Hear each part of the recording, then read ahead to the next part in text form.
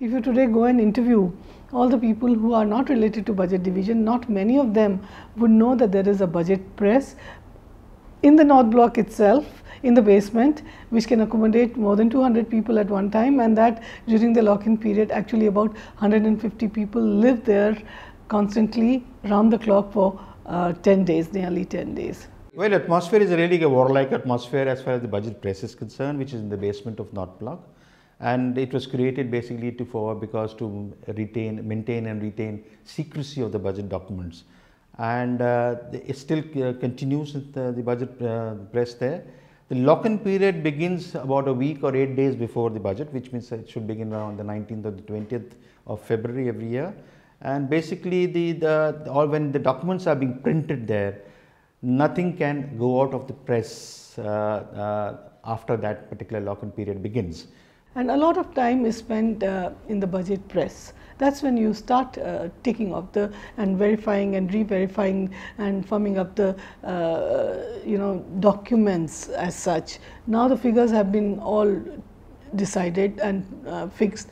All you need to do is make sure that the current, uh, correct, accurate figures go into print. There are no telephone connections, there are no mobile connections, there is no internet facility available and you can't even talk to your families uh, for those 8 or 10 days when you are inside locked inside.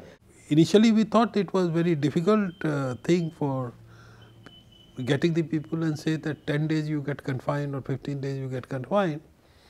But I found there was a lot of demand people wanted to come there because you get hefty allowances and there is a lot of excitement.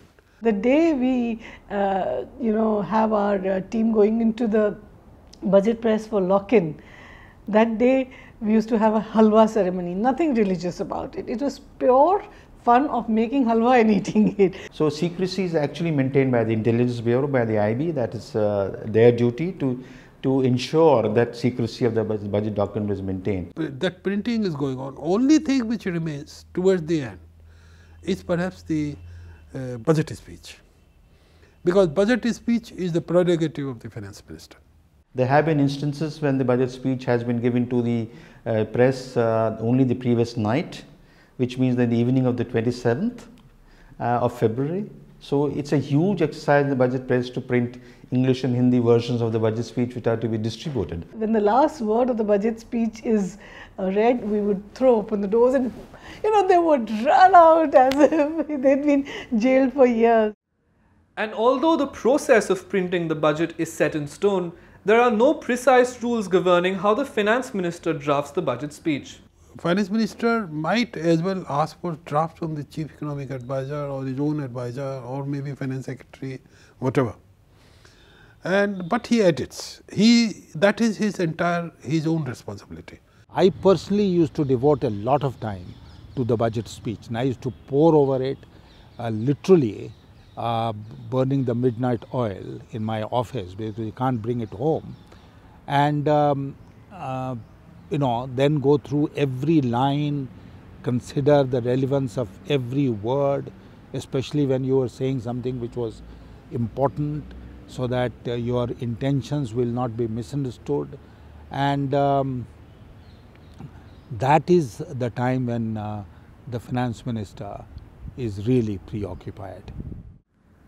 And Finance Minister Chidambaram, it seems, is more independent than others in this exercise. We were used to the uh, finance ministers coming down on the, uh, you know, uh, say two days before the budget is to be pla placed, coming, going uh, through the budget speech with all of us and putting their signatures there. But here was this man who typed out his entire budget speech on his uh, laptop and gave it to us on a pen drive, you know.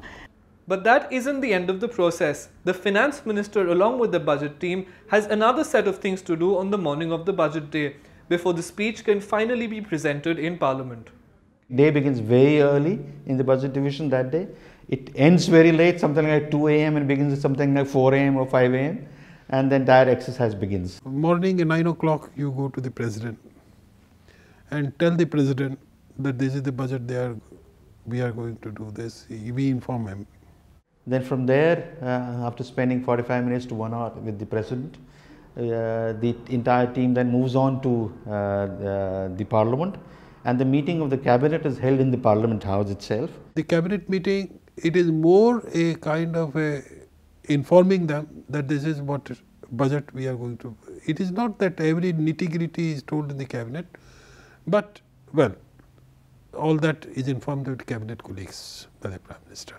Two of the DS directors, they go and uh, they carry the cabinet notes to the cabinet meeting and uh, those uh, copies of those uh, cabinet notes are counted and they are handed over and also after the meeting is over they are taken back from the members of the cabinet and through a secret corridor they, these members go to the main hall. And then the cabinet meeting is over, let us say around uh, uh, 10.45 or so.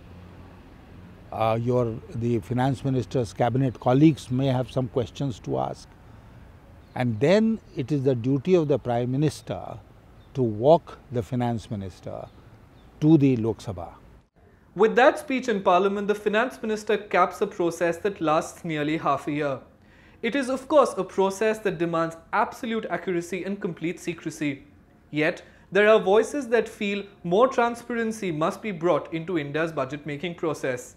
Because budget deals with uh, both direct as well as indirect taxes, there is a certain confidentiality which has always attached to budget making.